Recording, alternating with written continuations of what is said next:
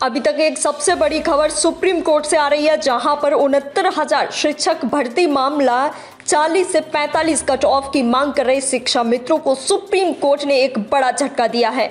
आपको बता दें कि यूपी में सहायक अध्यापक भर्ती उनहत्तर हज़ार मामले में सुप्रीम कोर्ट ने अपना फैसला आज सुना दिया है और ये शिक्षा मित्रों के लिए सबसे बड़ा फैसला है, आप देख रहे हैं। एच न्यूज़ और अभी तक की एक सबसे बड़ी खबर आपको हम सुप्रीम कोर्ट से दिखा रहे हैं कि कोर्ट ने बड़े हुए कट ऑफ़ को अनुमति दे दी है। सुप्रीम कोर्ट ने राज्य सरकार के मौजूदा कट ऑफ़ को सही ठहराया है।